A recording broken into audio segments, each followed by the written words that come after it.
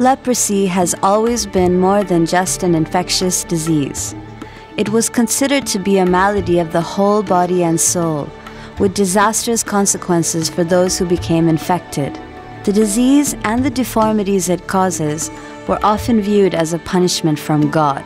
Societies dealt with leprosy by isolating patients in segregated villages for fear of the disease spreading.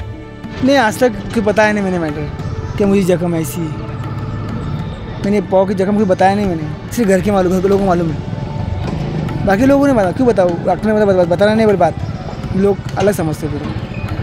म्हणजे असे लप ladies लोक असतात ते लपवतात ना ना असे लहान मुली मुलींचं असं मुली असल्या त्या लपवतात.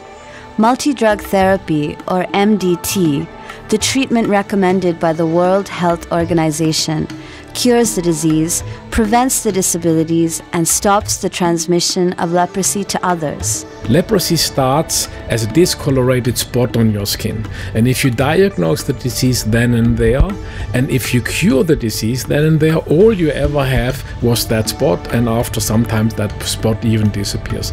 So we today speak of the new phase of leprosy because the moment we perceive leprosy to be a normal disease, the stigma will go away. The moment the stigma will go away, people will come forward and say, This could be leprosy, couldn't it? instead of hiding.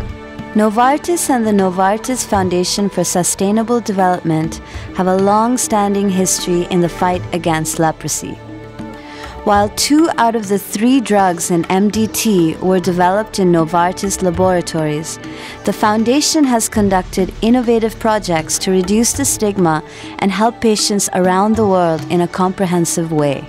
For 20 years, the Novartis Foundation has supported patients in India through the Novartis Comprehensive Leprosy Care Association. The program helps patients to integrate back into society through disability care, surgeries, grip aids, and physiotherapy.